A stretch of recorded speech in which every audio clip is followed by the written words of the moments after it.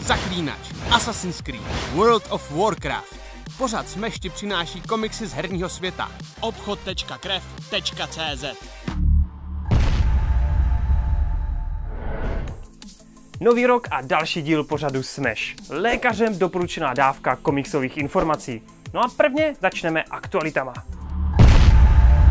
Zelený strašňák si dá další reboot. A tentokrát u toho nebude držkatý Rogan a kamion humoru. Nová verze vznikne pod režijní taktovkou Gavina O'Connora, který má na kontě bojovníka či zúčtování. Takže žádná sranda, nýbrž pořádná depka.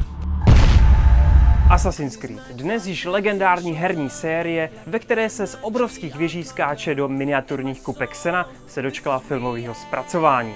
Dobře, není to jenom o skákání do sena. Najdeme tam i skvělé ašní sekvence, překrásné lokace, trochu toho šplhání spojeného s parkourem a fenomenální historické epochy. Přes renesanční Itálii se dostaneme k Americe v boji za nezávislost až ke krušným časům francouzské revoluce do Anglie začátcích 19. století. Tady všude se odehrává věčný souboj mezi asasíny a templáři a nějaká ta osobní dramata. Herní série odstartovala už v roce 2007 a zatím stále nestrácí na popularitě. Takže se není moc čemu divit, že po hře sáhli filmaři. Snímek Assassin's Creed sice nepřímo vychází z příběhů prvních her, ale přináší vlastní postavy a zápletku situovanou do Španělska 15. století do doby inkvizice. Fanoušci her se ale nemusí bát, že by přišli o parkourový styl akce a především skoky do hlubin. Kaskadéři absolvovali jeden z největších pádů v dějinách filmu. Neuvěřitelných 38 metrů.